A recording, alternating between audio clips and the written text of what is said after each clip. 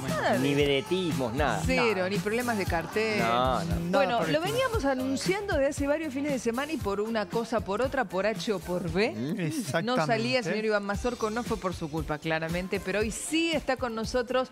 Cambios a la hora de renovar la licencia de conducir. Iván, buen día. ¿No vamos a necesitar estar más de cuerpito gentil en el lugar? ¿Qué tal? Buen día. Finalmente, acá estoy. Bien. ¿Cómo Yo les quiero contar que Iván ¿Qué? duerme. Duerme. Y hace muchos sábados que, Que no. se levantaba para Ay, compartir. Viste, pobre ahí está, mira. Dios, Eso es lo A mí me encanta dormir y más hasta tarde. Pero bueno, me sirvió los sábados anteriores para estar despierto Está bien. ¿Qué nos va a decir? Y lo que hacía le preparaba el desayuno a su novia, me Bueno. imagino, aprovechaba que se levantaba unos temprano. puntos ahí, Por ejemplo. ¿Eh?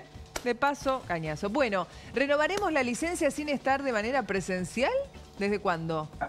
Así es, no hay fecha todavía. Esto es lo que adelantó eh, el ministro Federico Stolzenegger en una entrevista hace unas semanas, donde hablaba de lo que se está trabajando es en una reforma del Código de Tránsito, donde incluye, dentro de varias otras reformas, el tema de las licencias. Lo que se pretende a raíz de este cambio es eso que decían ustedes hace un ratito, que no tengamos que ir a ningún centro municipal a validar nuestra aptitud para conducir.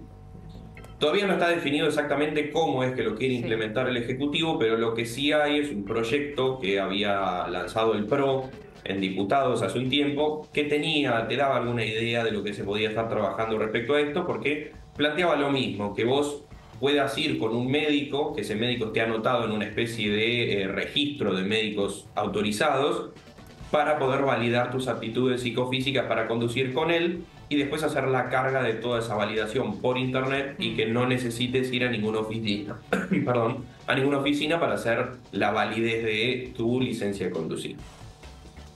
Este, Iván, y, y en ese, y en ese punto, además de esto, lo que hablábamos temprano nosotros acá es, chavo, las fotomultas, ¿en qué se está avanzando con eso? ¿Cuál es eh, eh, lo nuevo respecto de, porque todos salimos de vacaciones o lo que sea, decís, me va a agarrar alguna fotomulta, me va a caer y de repente te aparece que pasaste por un lugar y vos decís, che, pero acá no vi nada y a tu casa te llega una multa. ¿Se acaba eso?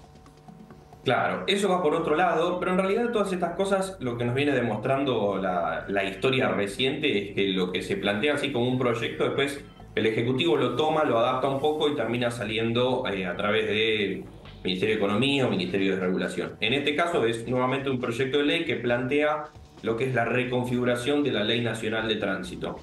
Para citarte un ejemplo, hoy si vos haces una falta en Ciudad de Buenos Aires o haces una falta en Mendoza, prescriben en tiempos distintos, porque cada provincia adapta eh, esta ley de tránsito a sus propias necesidades y, y demás.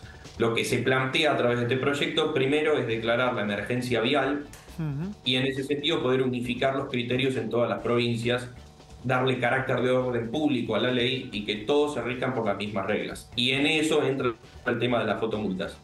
Que lo que se explica en realidad no es que las quieren eliminar, sino que hoy por hoy son la principal fuente de recaudación. Mm. Todas las este, infracciones, todas las faltas, por lo general, son más tomadas por una fotomulta que por un control de tránsito presencial. Mm.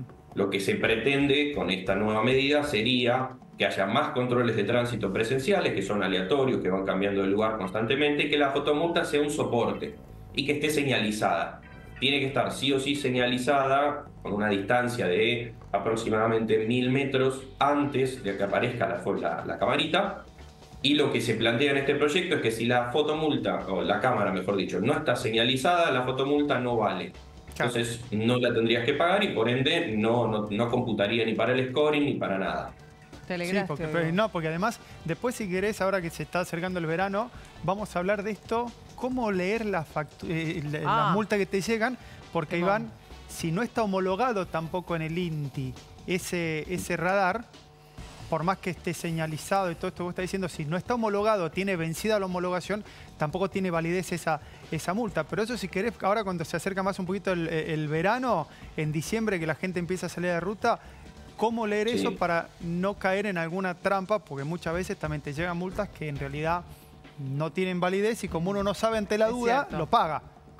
Claro, y ahí también aprovechamos repaso de documentos que cambiaron, no necesitas tantas tarjetas y es más con mi Argentina. Hubo muchos cambios en relación a, a seguridad vial y a documentación y a licencias y probablemente hayan más, teniendo en cuenta este proyecto y esto que planteaba el ministro hace un tiempo de repensar el código de tránsito. Qué buena. Qué buena Gracias, noticia. Iván. Gracias por la información y, y perdón por los madrugones de los Y ahora sí puede ir a desayunar tranquilo. Ahora, No hay problema. Ahora me voy a tomar mi cafecito. muy, Muy bien.